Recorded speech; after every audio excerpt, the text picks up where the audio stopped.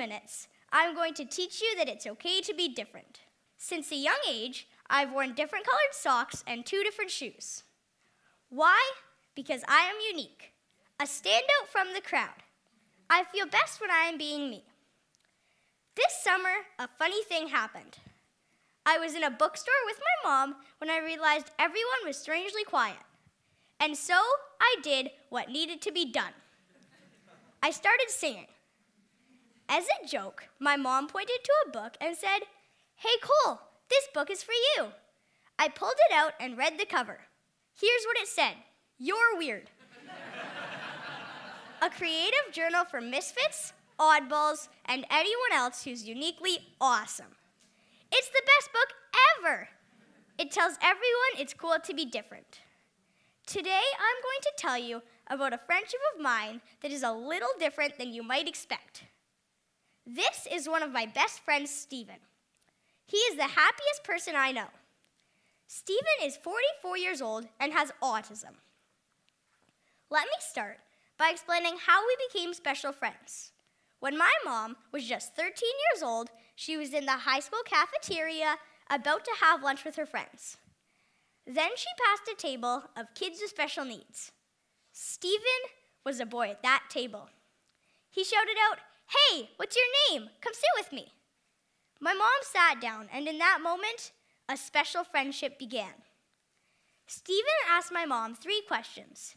He wanted to know what she was having for lunch, her phone number, and if they could be friends for 40 years. As my mom gave him her phone number and said yes, he clapped with excitement and said, I will call you every day. Ever since that day, in 1988, he has kept his promise and called our house every single day. When I was born, Stephen was a special part of our family, and I've grown up calling him Uncle Stephen.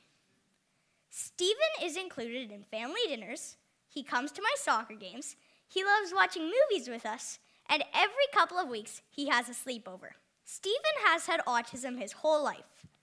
Autism spectrum disorder refers to a range of conditions characterized by challenges with social skills, repetitive behaviors, speech, and nonverbal communications, as well as by unique strengths and differences.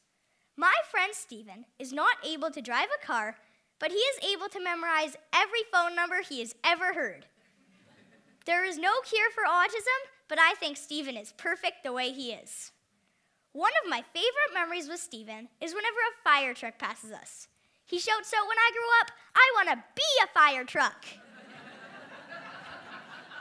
that always makes me smile. He likes the idea of being a fireman, but he loves the idea of being a fire truck. Another thing that always makes me laugh is how much he likes to eat. Have you ever met someone who can eat a steak, eight slices of pizza, french fries, apple pie, ice cream, and they are still starving? Well, Stephen eats all that almost every time we see him. Finally, one of my favorite memories with Stephen is when we play hide and seek.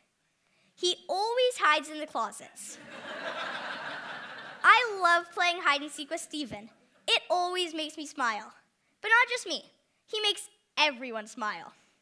I don't think we need a cure for autism, just like we don't need a cure for freckles.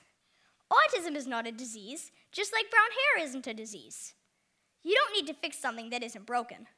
I look up to my Uncle Stephen as he is the happiest person I know. Stephen doesn't try to be like anyone else. He is exactly who he was meant to be. Imagine a world where we all live like Stephen. Find out what makes you different. Don't be afraid to stand out.